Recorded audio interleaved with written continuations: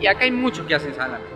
Pero que hacen salame bueno son los que realmente tienen la receta. El que hace la receta entre casas, digamos, es un tipo que elabora 200, 300 kilos de salame por semana.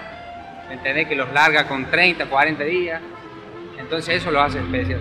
La IG eh, es justamente un convenio que han hecho entre varios productores de la zona para que larguen todo el mismo nivel de salame, ¿me entiendes? Para que no para que no haya estafa, porque esto es muy, es muy simple. Y un salame con IG tiene que tener como mínimo 21 días. Es el proceso que la sal cocina la carne para que, para que no salga crudo.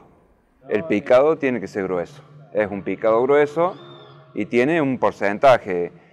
Acá siempre en verano es un se puso un poquito más de carne de vaca, pero en, invierno siempre se pone un poquito más de carne de chancho. No es un secreto la receta. El secreto de que un buen salame es la, buena mercadería, la buena carne. Si vos pones buena carne, vas a sacar buen salame. Son dos productos diferentes, ¿sí? De muy buena calidad, eh, no es uno ni mejor ni peor.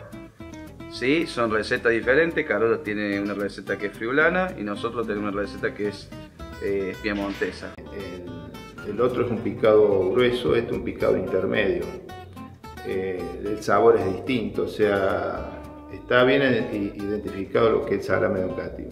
Una de las características del, salame educativo es su maduración larga, ¿sí? que lo diferencia de todo, de todo el resto de, los salames que hay en el, en el comercio. Un salame educativo está entre 30 y 40 días en maduración en secado. Si vos lo comparas con Colonia, Colonia tiene más de 100 años de trayectoria, nosotros tenemos 50 pero se ha impuesto mucho, la gente ya de todo el país lo conoce. Tenemos la Fiesta Nacional de Salame, terminamos de hacer un, un clúster porcino con 12 chacinadores.